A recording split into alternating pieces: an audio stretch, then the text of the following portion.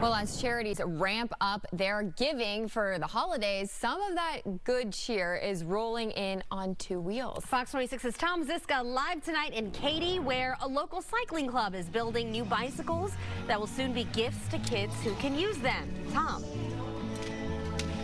Ladies, good evening to you. If uh, Santa's elves built bicycles, they would look a lot like this crew at the Merrell Center at uh, Katy ISD out in Katy.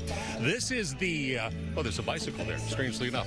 This is the annual uh, Southwest Cycling Club Santa's Sleigh Bike Build. They've been doing this for years and years. 240 bicycles being built today, going to Katy Christian Ministries to be handed out to families in this area during the holidays.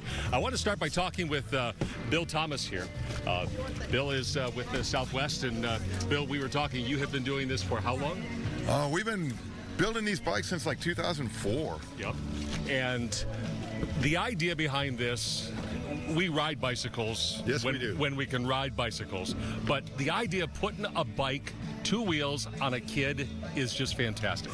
Yeah, I mean, we come out here Friday when the actually families come to pick up the bikes. It's amazing because of the generations of our generosity of our sponsors like NewFirst Bank, we're able to double the number of bikes that we've done previously.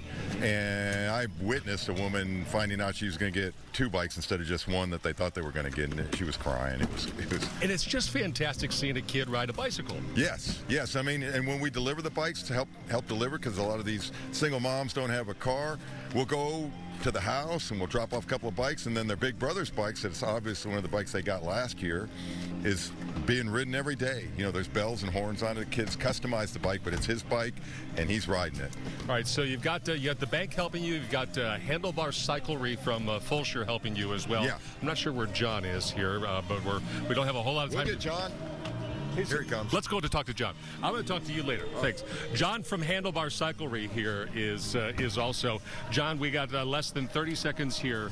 Uh, why is it important? I'll hold this, but why is it important for Handlebar to be doing this for kids and getting bicycles out to the community? It's just important for kids to have a bike at Christmas. Every kid wants a bike at Christmas. Kids love bikes. And uh, it, for us to be able to help do that, this is our passion. This is what we do. We like to support the community, and uh, we love to have kids be happy. And uh, we also like people to make sure that they give us a little extra space on the road. That's nice. Well, that's a different conversation. We'll talk about that, John. Thank you very much.